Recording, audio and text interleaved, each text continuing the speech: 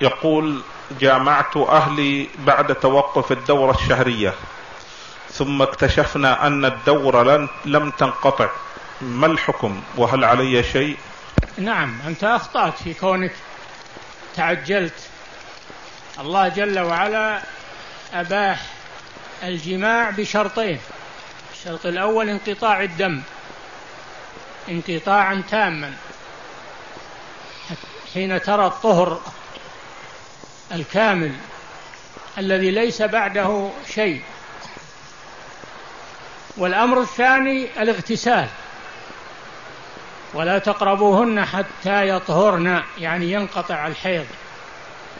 فإذا تطهرن يعني بالاغتسال فأتوهن من حيث أمركم الله.